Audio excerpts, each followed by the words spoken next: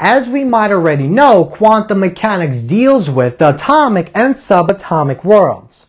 Now, when we make measurements of objects found on the atomic and subatomic level, there always exists an amount of uncertainty that involves those particular measurements. In fact, there is a limit to how precise those measurements can be made. And this is known as the Heisenberg uncertainty principle.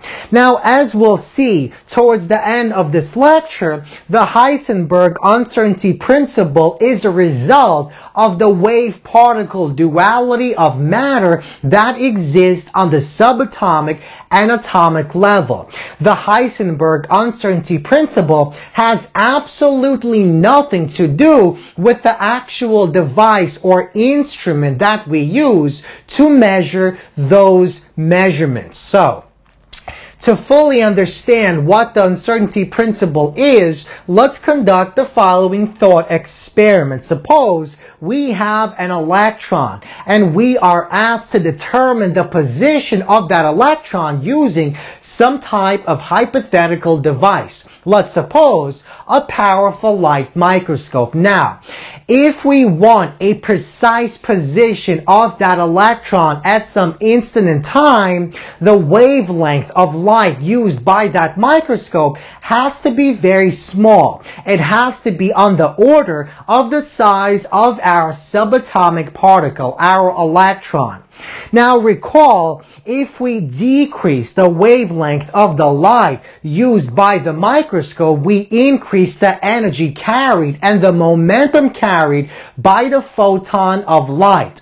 So that is given by this equation. The momentum of the photon of light used by the microscope P is equal to C, the constant that gives us the speed of light in a vacuum divided by the wavelength of light used by the microscope given by lambda. So basically, if we want a more precise location of the electron at some moment in time, we have to decrease the wavelength of light. But if we decrease the wavelength of, of light, we decrease the denominator and thereby increase P, the momentum of the photon. Now, why is this relevant in our discussion? So, let's examine the following diagram. So, this is the eye of the observer making our observation. Now, this is the scope of our powerful light microscope. So, the microscope uses a certain wavelength of light that is shown by the following orange arrow. Now, in order for us to actually see that electron, our light has to actually interact with that electron. So the photon of light basically collides with the electron, reflects, and eventually reaches the eye of the observer. However, what actually takes place between our electron and photon is a collision takes place. And that collision between the photon and the electron basically transfers some of that energy and momentum to that electron and the electron moves away with some velocity. So basically, the lower the wavelength is, the higher the momentum of that electron is and the higher the velocity of that electron is after that collision takes place. So even though we might know the precise position of the electron at that moment in time, because of that collision, our electron will move away with some unknown amount of momentum, with some unknown amount of velocity. And that means we have no way of actually knowing the future position of the electron and we have no way of knowing the momentum that the electron has if we know the precise position of that electron at that particular instant in time. So, once again, if we want a precise measurement of the electron's position, we need a photon with a small wavelength. However, such a photon will carry a large amount of energy as per this equation, and the collision between the photon and electron will cause that electron to move away with a very high velocity, which will change that electron's position as a result. Although we might know what the position of the electron is at that instant in time, we have no way of knowing the momentum of the electron and therefore no way of knowing where that electron will be at some future instant in time.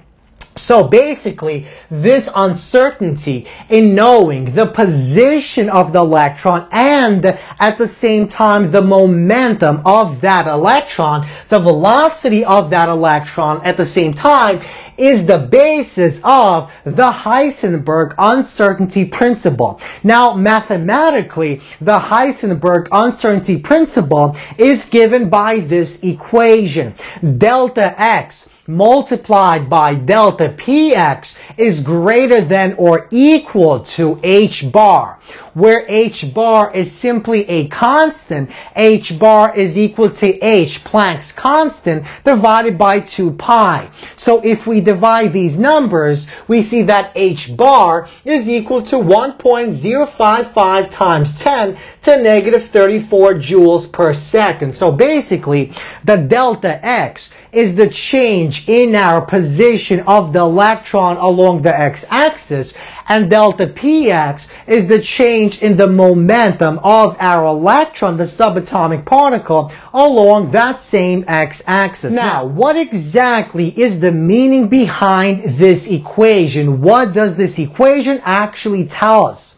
So, this equation tells us that the more precisely we know the position of our electron, the smaller the delta x is, the larger our delta p is, the less precisely we know the momentum of our electron. So basically, if our delta x is smaller to compensate for that smaller delta x, because this is a constant, the delta p has to increase. So this basically means that it is impossible to measure precisely the position and at the same time the momentum of our particle at some given moment in time. So this does not mean, of course, that we cannot make precise individual measurements. We can, for example, determine the precise position of an object, our electron, at some moment in time, but then the momentum would be completely unknown. So that basically translates into this equation. The smaller our uncertainty is in our position, the smaller our delta x is, the greater our uncertainty is in our momentum, which gives us our future position. So the greater our delta px is. So this basically implies that we have absolutely no way of knowing the future position of our electron if we know exactly where that electron is at that particular moment in time. Now, once again, we have to emphasize the following important point about the Heisenberg uncertainty principle. The Heisenberg uncertainty principle has absolutely nothing to do with the precision of the measuring instrument that we are using. The Heisenberg uncertainty principle is an inherent property of nature and comes from the fact that matter on a subatomic level can act as particles as well as act as waves. That is the reason an electron does not have a precise location and momentum at any given moment in time is because our electron is not actually a particle.